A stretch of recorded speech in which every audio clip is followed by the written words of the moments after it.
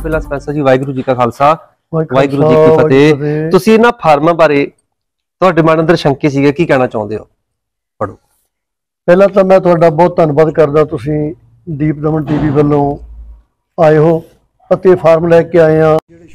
ਮਤਲਬ ਤਾਂ ਗੋਦ ਦਾ ਵੀ ਹੈ ਨਹੀਂ। ਬਿਲਕੁਲ ਜੀ। ਜਾਤ ਤੇ ਖਤਮ ਹੈ। ਪ੍ਰਗਟ ਸਿੰਘ ਹੂੰ। ਮੇਰੇ ਬਾਪ ਦਾ ਨਾਮ ਦਰਸ਼ਨ ਸਿੰਘ ਪਿੰਡ। ਸਰਾਲੀ ਜ਼ਿਲ੍ਹਾ ਜਲੰਧਰ ਜਮਾ ਮੈਂ ਸਿੱਖ ਹਾਂ। ਹੂੰ। ਮੈਂ ਕੇਸਾਂ ਧਾਰੀ ਹਾਂ ਮੈਂ ਹਾਂ। ਹੂੰ। ਜਾਂ ਸਹਿਜ ਧਾਰੀਆਂ ਜੇ ਬਾਲ ਕਟਿਆਂ ਵਾਲਿਆਂ ਦੀ ਨਹੀਂ ਵੋਟ ਬਣਨੀ ਮੈਂ ਮਨ ਦਾ ਨਾਮ ਬਣਾਈ ਜਾਵੇ। ਹੂੰ ਇਹਦੇ ਵਿੱਚ ਜਾਤ ਦੇਣਾ ਜ਼ਰੂਰੀ ਨਹੀਂ ਹੈਗਾ। ਆਪ ਮੈਂ ਕਿਹੜੀ ਜਾਤ ਨਾਲ ਸੰਬੰਧ ਰੱਖਦਾ? ਸਰਪੰਚ ਸਾਹਿਬ ਇੱਕ ਬੰਦੇ ਗੁਰਬਾਣੀ ਕਹਿੰਦੀ ਜਾਤ ਕਾ ਗਰਭ ਨਾ ਕਰਿਓ ਕੋਈ ਬ੍ਰਹਮ ਬਿੰਦੇ ਸੋ ਬਾਣੀ ਨੇ ਕੜਵੇ ਮਤਲਬ ਜਾਤੀ ਤੇ ਖੰਡਨ ਕੀਤਾ ਵੀ ਜਾਤੀ ਕੋਈ ਨਹੀਂ ਹੈਗੀ। ਤੇ ਜਿਹੜੀ ਸ਼੍ਰੋਮਣੀ ਕਮੇਟੀ ਸਾਡੀ ਸਰਮੋਰ ਆ ਉਹ ਫਾਰਮ ਦੇ ਰਹੀ ਹੈ ਵੋਟਾਂ ਵਾਸਤੇ ਉਹ ਜਾਤੀ ਦਾ ਵਿਤਕਰਾ ਕਰਕੇ ਬੈਠੀ ਹੋਈ ਹੈ।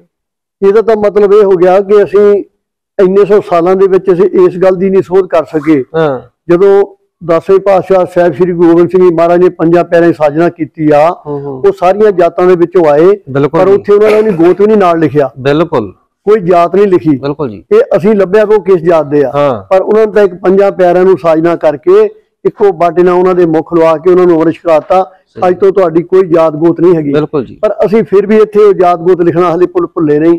ਅਸੀਂ ਉਹਨੂੰ ਫਿਰ ਕਰੀ ਜਾਂਦੇ ਆ 21ਵੀਂ ਸਦੀ ਦੇ ਵਿੱਚ ਆ ਗਏ ਕਿੱਥੇ ਅਸੀਂ ਪਹੁੰਚ ਗਏ ਆ ਫਾਰਮ ਜੀ ਭਰੇ ਆ ਫੇਰ ਵੀ ਉਹਦੀ ਜਾਤੀ ਲਿਖ ਕੇ ਮੈਂ ਤਾਂ ਇਹ ਬੇਨਤੀ ਹੁਣ ਵੀ ਕਰਦਾ ਕਿ ਸਾਡੇ ਪਿੰਡਾਂ ਵਿੱਚ ਜਿਹੜੇ ਗੁਰਦੁਆਰਾ ਸਾਹਿਬ ਬਣੇ ਹੋਏ ਆ ਬਾਹਰ ਲਿਖਿਆ ਹੋਇਆ ਰਾਮਗੜੀਆ ਗੁਰਦੁਆਰਾ ਬਾਲਮੀਕ ਗੁਰਦੁਆਰਾ ਰਵਿਦਾਸੀਆ ਗੁਰਦੁਆਰਾ ਇਹ ਜੇਕਰ ਅਸੀਂ ਸ਼੍ਰੋਮਣੀ ਕਮੇਟੀ ਵੱਲੋਂ ਮੈਂ ਬੇਨਤੀ ਕਰਦਾ ਇਹੋ ਜਿਹੇ ਮਹਿਮ ਚਲਾਵੋ ਇਹ ਪ੍ਰਥਾ ਖਤਮ ਹੋਣੀ ਚਾਹੀਦੀ ਆ। ਆਪਾਂ ਜਾਤੀ ਵਾਲੇ ਫਾਰਮ ਦੇਈ ਜਾਂਦੇ ਆ। ਇਹ ਤੇ ਗੁਰਦੁਆਰਿਆਂ ਦੇ ਵਿੱਚ ਵੀ ਗ੍ਰੰਥੀ ਰੱਖਣਾ ਹੋਵੇ ਤੇ ਜਾਤ ਪੁੱਛ ਕੇ ਰੱਖਿਆ ਜਾਂਦਾ ਵਾ ਤੇ ਇਹਨਾਂ ਜਾਤੀ ਦਾ ਵਿਤਕਰਾ ਕੀਤਾ ਜਾਂਦਾ। ਨਿਰਮਲ ਸਿੰਘ ਪਦਮ ਸ਼੍ਰੀ ਦੇ ਨਾਲ ਜਾਤੀ ਦਾ ਵਿਤਕਰਾ ਕੀਤਾ ਗਿਆ। ਹੋਰ ਵੀ ਬਹੁਤ ਸਾਥ ਉੱਥੇ ਇਹੋ ਜਿਹੇ ਨੇ ਗੁਰਸਿੱਖ ਪਿਆਰੇ ਜਿਹੜੇ ਕਹਿੰਦੇ ਵਾਕਿਆ ਹੀ ਇੱਥੇ ਸ਼੍ਰੋਮਣੀ ਕਮੇਟੀ ਵਿੱਚ ਜਾਤੀ ਦਾ ਵਿਤਕਰਾ ਕੀਤਾ ਜਾਂਦਾ। ਸਰਪੰਚ ਸਾਹਿਬ ਇਹ ਕੀ ਕਹਿਣਾ ਚਾਹੁੰਦੇ ਹੋ ਤੁਸੀਂ ਇਸ ਫਾਰਮ ਬਾਰੇ? ਇੱਕ 15 ਤਰੀਕ ਤੱਕ ਹੀ ਉਹਨਾਂ ਨੇ ਤਰੀਕ ਦਿੱਤੀ ਕਿ 15 ਤਰੀਕ ਤੱਕ ਹੀ ਵੋਟਾਂ ਬਣਨੀਆਂ ਸੀ। ਆਪਾਂ ਤੈਨੂੰ ਖੰਡਨ ਕਰ ਦਿੱਤਾ ਫਾਰਮ ਹੀ ਖੰਡਨ ਕਰ ਦਿੱਤਾ ਆਪਾਂ ਪਹਿਲੀ ਗੱਲ ਤਾਂ ਇਹ ਆ ਬੇਨਤੀ ਮੇਰੀ ਆ 15 ਤਰੀਕ ਦਾ ਟਾਈਮ ਬਹੁਤ ਥੋੜਾ ਆ। ਦੂਸਰੀ ਗੱਲ ਇਸ ਫਾਰਮ 'ਤੇ ਸੋਧ ਕੀਤੀ ਜਾਵੇ। ਮੈਂ ਦੋ ਚੌ ਬੰਦਿਆਂ ਦੇ ਕੋਲ ਇਹ ਫਾਰਮ ਲੈ ਕੇ ਵੀ ਗਿਆ। ਉਹਨਾਂ ਨੇ ਕਿਹਾ ਜਾਤੀ ਕਿਉਂ ਲਿਖਾਉਨੇ ਆ ਵਿੱਚ ਨਾਲ? ਹੂੰ। ਜੇਕਰ ਦੇਖ ਜੇ ਸਾਨੂੰ ਅੱਜ ਤਾਈਂ ਇਹ ਨਹੀਂ ਪਤਾ ਅਸੀਂ ਇਹਦੇ ਵਿੱਚ ਜਾਤੀ ਲਿਖਣੀ ਚਾਹੀਦੀ ਆ ਨਹੀਂ ਲਿਖਣੀ ਚਾਹੀਦੀ ਇਹਦਾ ਇਹ ਬੋਰਡ ਕਿੱਦਾਂ ਬਣਾਈਏ? ਹੂੰ। ਮੇਰੀ ਤਾਂ ਇਹ ਬੇਨਤੀ ਆ ਕਿ ਇਸ ਚੀਜ਼ ਨੂੰ ਸੋਧ ਕਰੋ। ਇਹਨੂੰ ਟਾਈਮ ਵਧਾਓ। ਜੇਕਰ ਟਾਈਮ ਨਹੀਂ ਵੱਧ ਸਕਦਾ, ਇਹ ਸਾਡੇ ਨਾਲ ਧੱਕਾ ਆ, ਅਸੀਂ ਇਹਦੀ ਬੋਰਡ ਨਹੀਂ ਬਣਾ ਸਕਦੇ। ਆਰਡਰ ਨਹੀਂ ਬਣਾ ਸਕਦੇ। ਬਹੁਤ ਵਧੀਆ ਜੀ ਵੀਡੀਓ 15 ਤਰੀਕ ਦੇ ਵਿੱਚ ਟਾਈਮ ਬਹੁਤ ਥੋੜਾ ਵਾ। ਵੀਡੀਓ ਨੂੰ ਵੱਧ ਤੋਂ ਵੱਧ ਸ਼ੇਅਰ ਜ਼ਰੂਰ ਕਰ ਦਿਓ, ਤਾਂ ਜੋ ਸ਼੍ਰੋਮਣੀ ਕਮੇਟੀ ਤੱਕ ਪਹੁੰਚ ਸਕੇ।